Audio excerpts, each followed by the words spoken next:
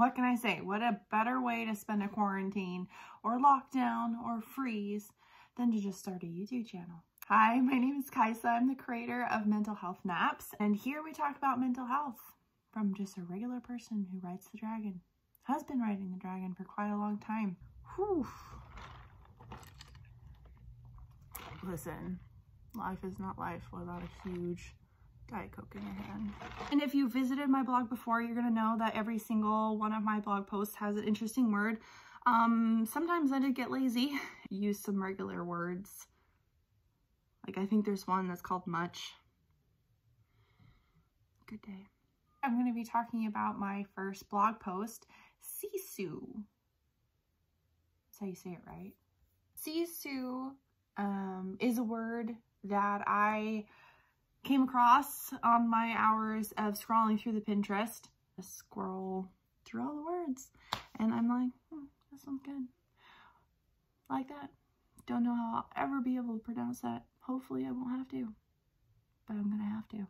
Sisu. Sisu. Sisu. Sisu. Sisu. Sisu. Yes, so just so you know, I'm now 100% fluent in Finnish. When I was thinking about possibly writing a blog about all the stuff I've gone through as far as dealing with mental illness, I was looking on Pinterest and I ran into a word, sisu. And it was like one of those pretty like on a water, calm water backdrop that you would imagine would be on the front cover of like an, an app that helps you sleep. It had Sisu in big letters and it just said, um, extraordinarily determination, courage, and res resoluteness in the face of extreme adversity, an action mindset which enables individuals to see beyond their past limitations and into what might be, taking actions against the odds and reaching beyond the observed capacities, an integral element of Finnish culture and also universal, universal capacity for which the potential exists within all individuals. And I just loved that. I was like, well, there's the name for my first blog post.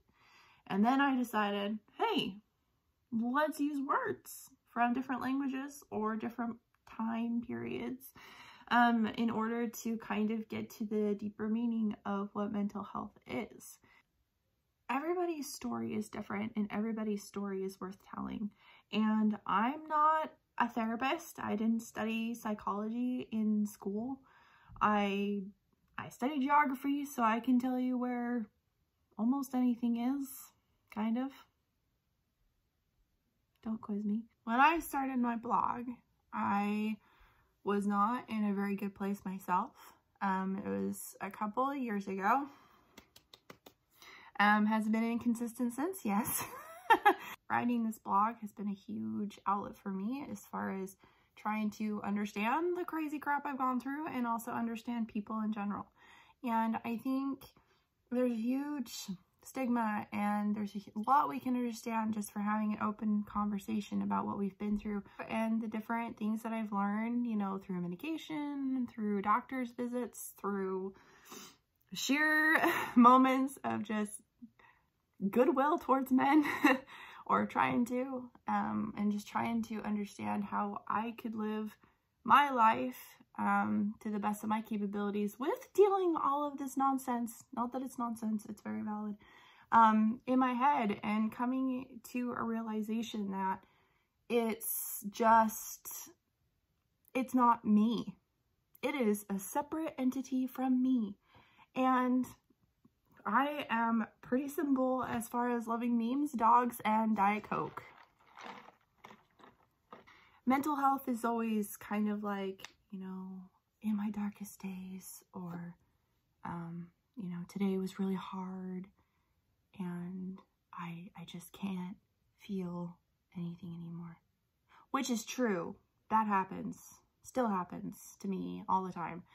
Not all the time. I'm working on it. Okay, you, you get my point there is so much light in the world and I know the world right now is not all that lit, but um, there is so much that you can find inside yourself even when you don't know what is inside yourself because there's a huge fear that comes with mental, you know, illnesses. It's just something that, you know, how can you explain, you know, to someone? How can you say, hey, there is barely enough room for me in my head. It's heavy. Coming forward and actually just talking about it and showing that, you know, you can be happy and you can, you know, gracefully ride the dragon. well, sometimes. And that's kind of what I'm wanting to hope to accomplish from this is that, you know, hey, we're in this together. Q and High School Musical here. Honestly, mental illness, I don't think needs to be feared. I think it honestly can be used as a superpower. You know what I mean? Um, no capes though. But sometimes I feel like when you're fighting mental illness, you know, your hands are sore, your hands are bloody, your hands are, they don't know, they're, they don't have any strength left. So how do you, how do you keep reaching out to what makes you happy? How do you keep doing that? I find that if you take a really close look at yourself and you really try to stick to your guns and remember the real principles of the thing of who you are as a core person, and realize that this mental illness is not you, it's something that's happening to you, then all of a sudden it puts, it contains it, it makes it, it puts it in a box. You know, fighting this, going to the doctors, um, learning how to advocate for myself, having somebody on the phone ask me, are you stable? And that's not a good thing to say to anybody.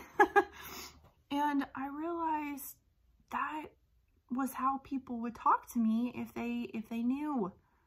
And you know, it's not a hard it's not a big deep secret that I struggle with these things.